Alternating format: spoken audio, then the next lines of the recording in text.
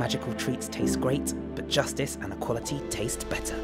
To combat hate, all ad revenue from my HP Kitchen will be donated to trans and LGBTQ charities. Thank you for supporting the kitchen and helping make the world a better place.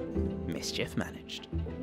Hello, witches, wizards, and those who have forgotten about their Hogwarts letters. Welcome back to my Harry Potter kitchen. It's been a while since I was last able to say that, but I'm here with a brand new recipe. For those of you who are new or just don't remember what we're doing here, my name is Bradley and I am baking my way through the Harry Potter books, creating magical recipes for every item of food and drink that we find inside.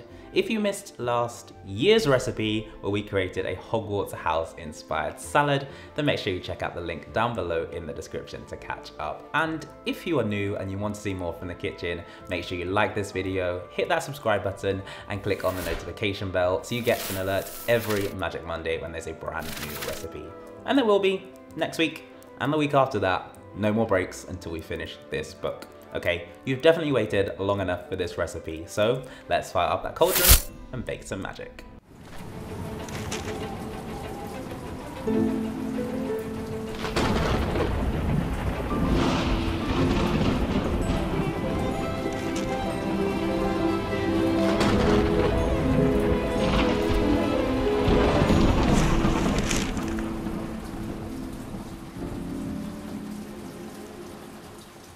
Our next recipe can be found in chapter 8 of The Prisoner of Azkaban, Flight of the Fat Lady, where we see the golden snitch, a tiny winged walnut sized ball. Now this is one recipe I can't wait to catch. Our first recipe back is for walnuts, and this sentence is actually pretty great at describing and inspiring our next recipe. The walnuts are being used to describe golden snitches, so I decided to conjure up golden snitch cake pops and use walnuts as the cake base. Now, walnuts go amazingly well in a variety of cakes, but I've gone for walnut and chocolate chip, and then we'll also infuse some butterbeer flavors into there because it's the wizarding world. First things first, we need to create our sponge cake base, so this is what you need to do. To begin, I'm going to grease and line my baking tin to help prevent the cake from sticking. I'm going to start with our main ingredient, which is the walnuts, so I've poured them onto my chopping board and then coarsely chopped them into rough chunks. I'm also using this time to crack and whisk my eggs until nice and smooth. For the cake batter, I'm starting by creaming together my butter and sugar until light and fluffy. Once that's ready, you want to add in your eggs a little bit at a time, using flour to prevent it from curdling. Repeat this step until all of your eggs have been combined. Next, it's time to add in the rest of your flour along with your flavourings. That's ground mixed spice, vanilla, your chopped walnuts, and chocolate chips. Continue mixing for a few seconds, but be careful not to overbeat the mixture, otherwise it will become tough. I like to finish mine off by scraping down the bottom of the bowl and finishing by hand. The last thing you need to do is transfer your cake batter into your baking tin and then use an offset spatula to smooth over the top. Bake the cake in the oven at 180 degrees Celsius or 350 degrees Fahrenheit for around 20 minutes until golden, and you'll know it's ready when you insert a skewer into the center and it comes out clean. While the cake is in the oven, you can save some time by getting started on the decorations. I'm going to bind the cake pops with a butterbeer inspired icing made from homemade buttercream and some caramel in there as well. I'm also going to melt and pipe my white candy melts because we'll be using these for the wings later and I want to make sure they have enough time to set so they're nice and firm when we stick them on. For the butterbeer icing, you want to start off with the buttercream base, which I've made by whisking together my butter until smooth. You then want to add in your icing sugar a little bit at a time, continuing to whisk until it's well incorporated. By the final addition, you should notice that your icing is light and fluffy and all of the icing sugar particles have dissolved. Once you're at that stage, you can then flavour your icing with some milk and your butterscotch or caramel sauce. Set the icing to one side while you prepare your wings. I've made mine from white candy melts as they'll be nice and strong and hold their shape when we attach them onto our golden snitch. Melt your candy melts in the microwave, stirring every 10 to 20 seconds, and then once nice and smooth, you can pour that into a piping bag with a writing tip.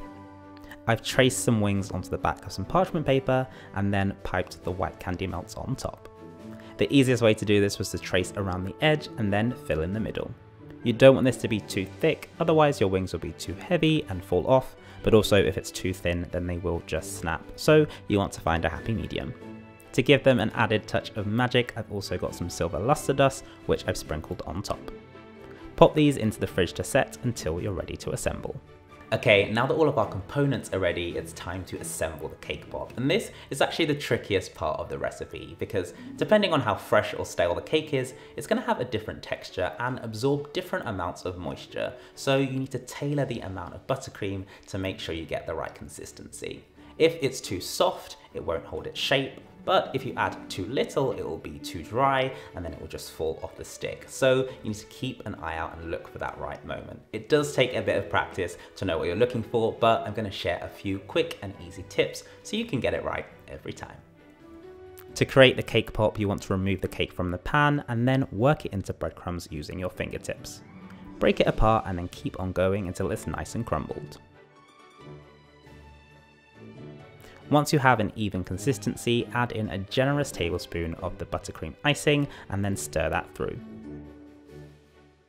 I like to start off with a spatula and then once it's a little less messy, switch to my hands. You'll notice that the cake looks pale and white on the outside but is still dry in the middle, so don't add any more icing at this stage, just keep on working it until you have a nice even colour. When it's ready, you'll be able to work it into a smooth ball that has a slightly shiny outside. When you break it in half, it should come apart cleanly, but if you press it with your fingers, then it should crumble out in clumps. If the mixture doesn't hold its shape at this stage, you've added too much buttercream and it needs more cake. If it crumbles straight away as soon as you break it, then it's too dry and needs more icing. When you're happy with the consistency, split the mixture into 6 or 7 balls and then roll them in the palm of your hand until smooth and round. Place these into the fridge to firm up while we prepare our candy melts. You want to melt these down just like the white candy melt and then we're going to use them as a glue to help our stick stay in place. Dip them in until they're well coated and then press into the middle of the round cake pops.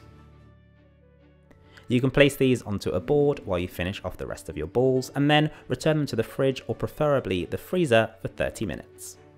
Our final step is to decorate the cake pops and transform them into our golden snitches.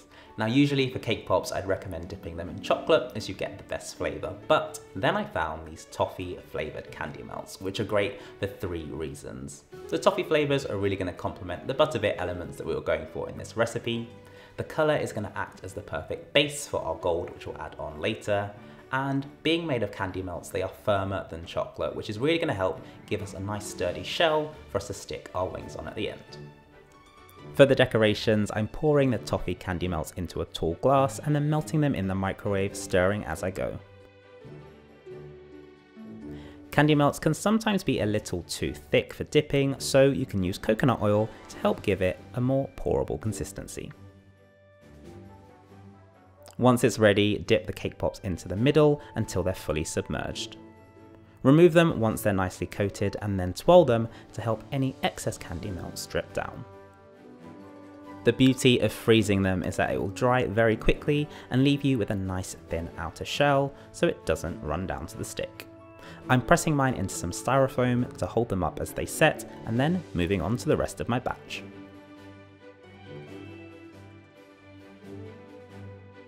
For the final touches, I've got myself some edible gold spray paint, which I've used to cover each of the cake pops. You can see that one of mine has cracked and that was from the cold of the paint hitting that candy melt, so be careful not to apply too much too quickly. Once the gold paint has dried, you can place a little more of your white candy melts onto the back of each wing and then stick those to the side of your cake pops. This is also a great opportunity to cover up any of those inconsistencies, so if you cracked one of your shells like mine, just use a little clever placement and cover it up. That is game, set, and match. So there you have it, our golden snitch cake pops are ready to fly. Walnut and chocolate chip cake, beautifully blended with a butterbeer icing, all wrapped up in a golden snitch shell. I really, really enjoy bringing this recipe, so I hope you enjoyed it. And if you give it a go, let me know what you think down below in the comments.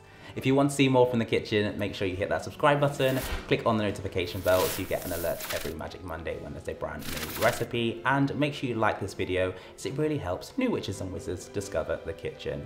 I really appreciate all of the love and support and patience that you had while I was recharging and on a break, but I'm back and so, so excited to bring you more from this series. In the meantime, I'm off for Quidditch practice, but I'll see you next week.